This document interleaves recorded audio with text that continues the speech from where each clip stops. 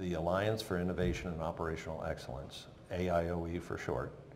And our purpose is to bring the collaborative mentality of the industry together in the consumer products industry, to bring them together to solve common non-proprietary operational challenges uh, in the manufacturing environment. A critical issue in the CPG world is output reliability.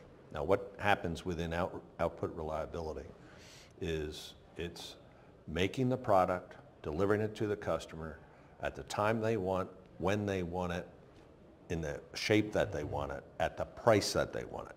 So all of that rolls up into output reliability.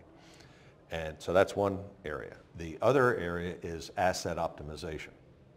And the, I don't know, candidly, the extent of the total value of assets in place in just North American CPGs. But it's, it's absolutely staggering. So think about the big data that's associated with monitoring the performance and the predictability and, and optimization and all those good things. That we then say is the value of the industrial internet.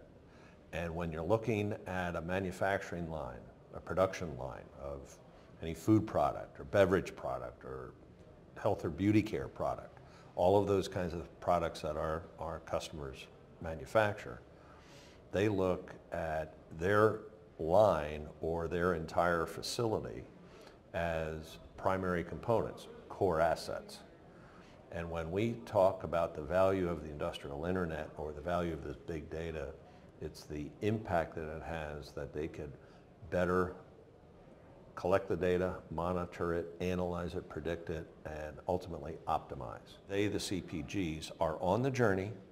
They are doing a number of things manually, but at some point in time they're going to, rec- they're going to recognize the value of the analytics and the predictive capabilities, and that's when it's really going to take off. It's going to be like a hockey stick.